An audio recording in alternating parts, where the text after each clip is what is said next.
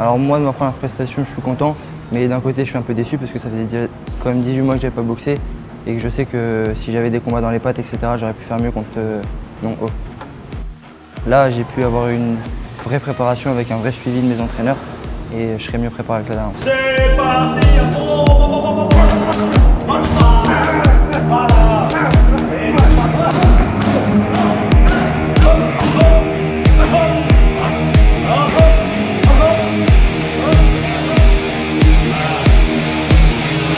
Ça nous aide vraiment euh, que Venom soit là et qu'on puisse venir tous les jours euh, quand on veut pour se préparer.